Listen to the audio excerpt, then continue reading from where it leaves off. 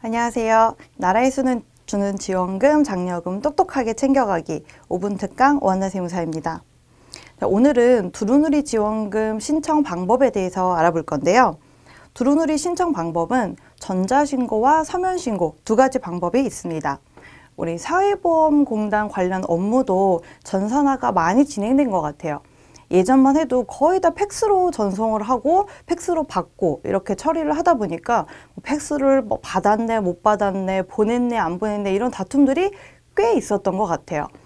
근데 가입자 자격 취득, 상실 신고나 각종 신청, 신고 업무를 예전에는 어, 팩스로 전송했던 방법과 달리 요즘에는 뭐 사이트 홈페이지를 통해서 전자로 그렇게 업무를 처리하는 경우가 늘고 있는 것 같습니다.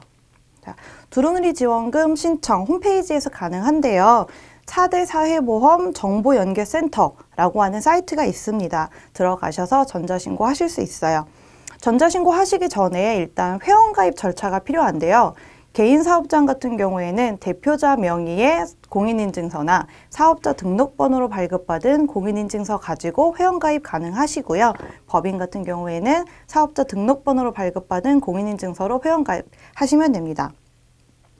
우리 개인의 지역 가입 관련 업무나 사대보험 가입 확인 같은 간단한 업무들은 회원 가입 없이도 가능, 가능한데요. 두루누리 지원금 신청 같은 업무는 회원 가입을 꼭 하셔야 됩니다. 자, 서면으로 제출하는 방법도 있습니다.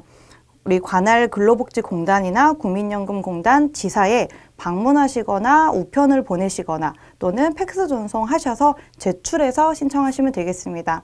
우리 신청서 서식 필요하시죠? 어, 사대보험 사회정보연계센터나 공단 홈페이지에 들어가시면 다운로드 받으실 수 있어요. 다운로드 받으셔서 신청서 작성하시면 됩니다. 신청서 작성하시는 거 어렵지 않으시거든요. 기본적인 사항 적으시고 가입 대상 근로자 수 그리고 지원 대상 근로자 수 각각 적으시면 되겠습니다. 국민연금 보험이랑 고용보험 각각 적으시면 되고요. 자, Q&A로 몇 가지 더 살펴볼게요. 지원 대상이 해당되면 연도가 바뀔 때마다 지원 신청을 별도로 해야 될까요? 아닙니다.